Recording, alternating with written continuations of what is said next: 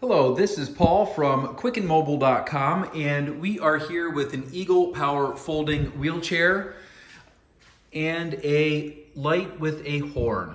So we have actually with the light and horn, which is one of the accessories that you get, we have a, a new updated attachment.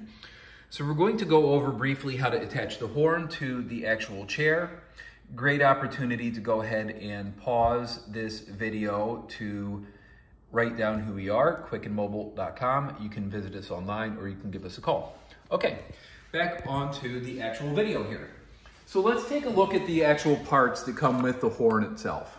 Okay, so we have the horn, the light and horn. Um, the light is actually very bright, so it has one setting where it just flashes quickly, one setting where it flashes not so quickly, and then basically it has uh, just on.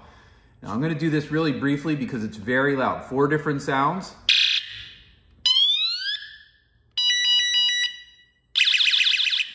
Just each one randomly when you press the horn. So to me, my very favorite technique for attaching the horn and light to the chair is something that I will do with two hair ties. The hair ties don't actually come with the chair themselves, but to me, if I'm sitting at this chair, now we take a look at this little, uh, right here, the knob. I put the hair ties underneath the knob, I put them in between the buttons, and that's, that's that. So if I'm actually, I'm gonna move this stuff. If I'm sitting in the chair, it makes it very easy for me to access the light and access the horn while I'm driving the chair. So it's right there, and then if I don't need it anymore, I can just take it off. So, I mean, to me, that is the most efficient solution for attaching the horn to the chair.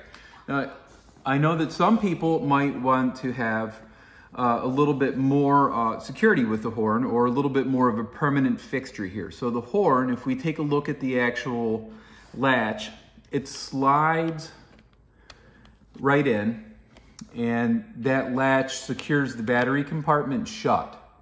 Okay, so the latch would really be designed to go onto the outside of the chair.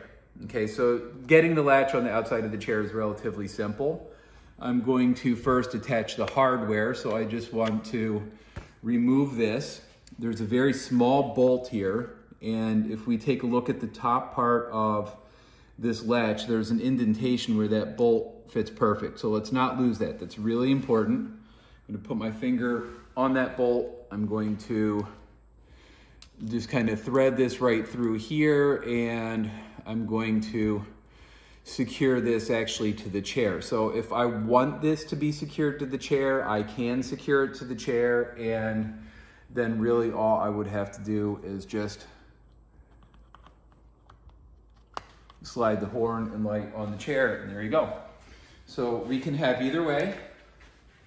And what people like to do for this way is if they're driving, they can just reverse the horn so there's a light that is behind the chair. So there's a few different options here. Uh, either way about it, I do appreciate taking the time out to watch the video. We are quicknmobile.com. Please feel welcome to visit us online.